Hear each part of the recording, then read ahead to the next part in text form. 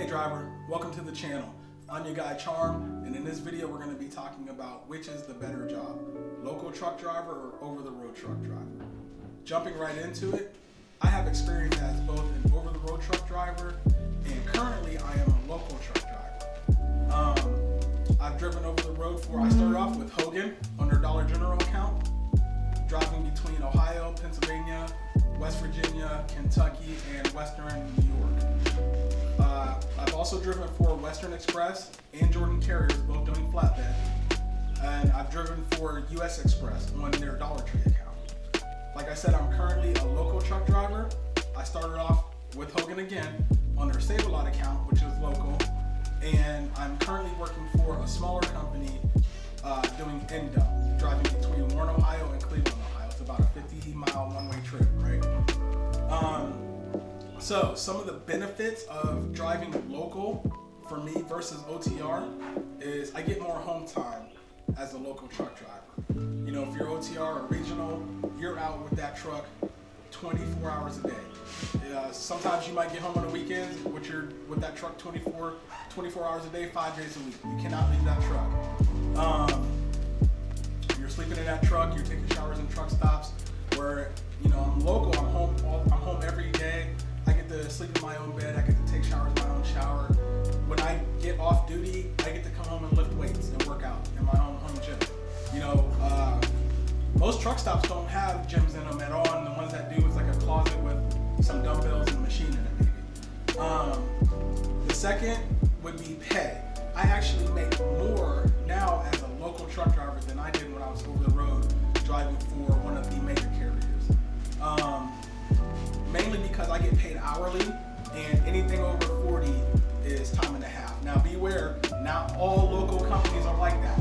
Some still pay hourly, but they don't pay time and a half, and others pay by the mile still, which you're not getting very many miles versus OTR, so you're not making as much money. So be aware of those two things. Uh, the third would be I am on a dedicated route. I drive the same route day in and day out every single day, about six days a week. Um, so there's there's no surprises.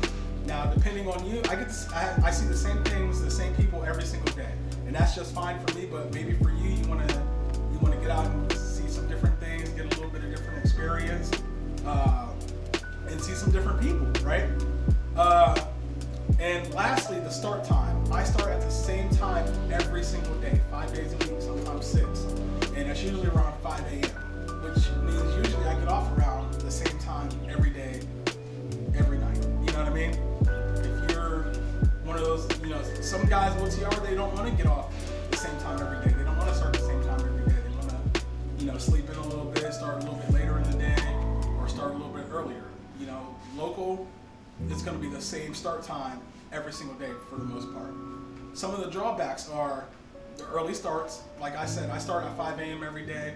We have guys that start at uh, 12 a.m., 1 a.m., 2 a.m., 3 a.m., 4 a.m., and etc. Uh, so if you're not an early person, you know, you, you might want to try to find a local job that's going to have you working like maybe like a, a night shift. Like Sheetz has night shifts. Um, my current company has night shifts. Uh, and I'm pretty sure there's a lot of other companies out there that have night shifts. If you're in food service, you might be able to get an overnight route, but there's those pretty those go pretty fast. Um, another drawback to being a local driver is you're going to have more stops.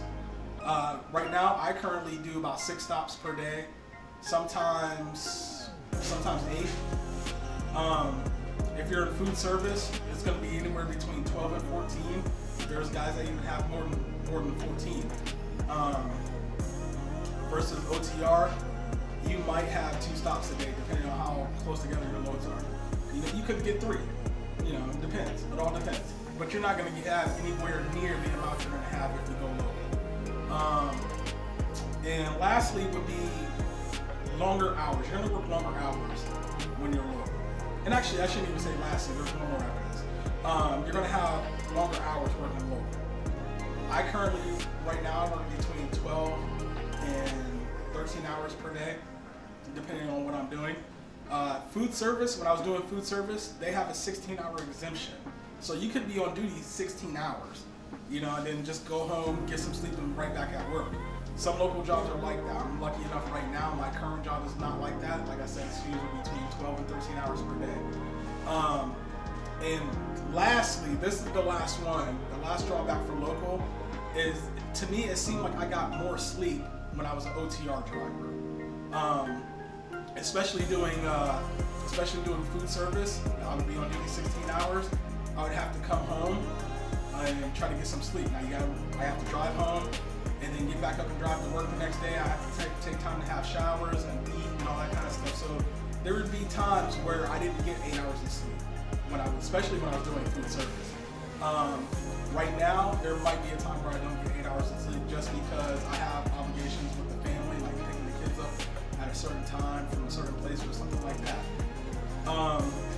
some of the cost, this is something nobody ever talks about. Some of the cost that you could incur if you want to be a local truck driver. Um, some companies are going to require you to have a tanker and or a hazmat endorsement, right? You have to pay for both of those. And especially if you want to go to like Kenan Advantage, Sheetz, Love's, uh, Pilot. Uh, if you want to haul fuel, you have to have a tanker and a hazmat endorsement. If you want to drive for FedEx or like UPS and uh, USF Holland, and I think uh, what are some of the XPO logistics, you're gonna have to have a triples and doubles endorsement. So you can pull uh, two and three pups at a time, which pups are the smaller trailers. Um, so it, those all cost money. So those are some of the costs associated with becoming a local truck driver. And I'm about to go ahead and hit these weights, get a quick workout in before dinner. If this video helped you out any, hey, hit, hit that thumbs up button for me, subscribe to the channel, go over and watch some of the videos I dropped about my weekly pay. I'm dropping them every single week.